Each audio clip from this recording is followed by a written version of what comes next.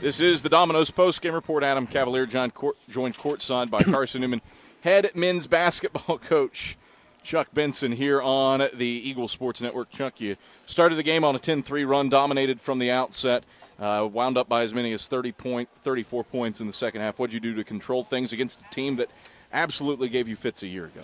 I thought we uh, we came out and especially the first half established um, a level of dominance. Uh, our guys, especially our veteran guys, remember how difficult the challenge was last year and how that uh, we were fortunate to win at Holt last year.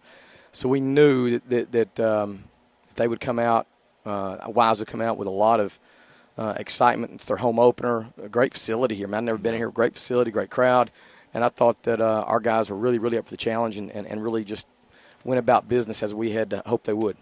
Defensively, uh, very impressive. Hold UVA wise to 32% shooting and 7 of 26 from the floor. What did you do to clamp down on that? Well, we, we really talked a lot about their personnel and who could do what. Uh, now, Badmus came out the second half and just played free and easy. Uh, but really, the first half, I thought when we established a sort of a tone on how we were going to defend the three. I think they were they made two the first half, something like that. Made five the second. But again, the second half – it got up to like I said 30 35 and, and, and, they were just launching man just so they, they kicked a couple in but uh, I, again I go back to our guys preparation the last couple days and then the execution of, uh, of our report which which was to come in here and not let this team get excited from the three point line, which we thought they were capable of doing for sure. You know, I talked about it pregame about Taiwo Badmus and Dimitri Sosa. Yeah, Badmus does get 24, but uh, the bulk of that, as you mentioned, did come in the second half. Dimitri Sosa, though, who had 35 on you a year ago, 0 for 4, no points. Yeah. What'd you do on him? Uh, well, I mean, I, we just made it tough. Made it tough. And, you know, uh, the two of them last year at Holt put up 62 on us 35 and 27 or some kind of thing. This year, Badmus 24, Sosa 0. So we, we cut that production in half. And, and, and like I said, Badmus at the, at the half, I think he had, what, four? Yeah. So – you know, he really exploded the second half, but a lot of that was just the nature of the game and how it became sort of.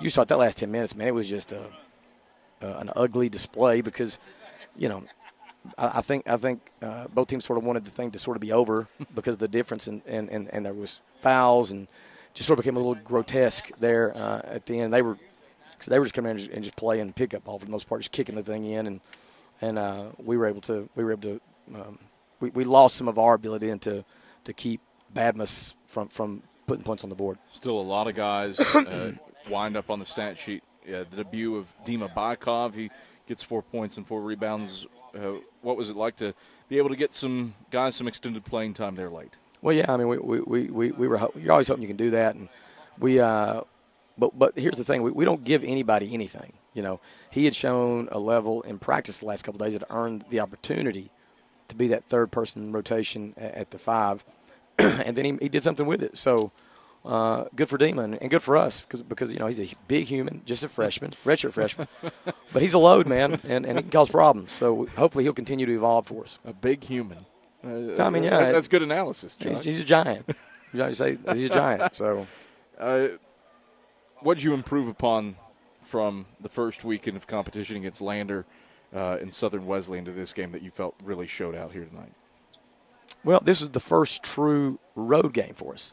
The other two were neutrals, so uh, I liked I liked our overall level of poise and confidence.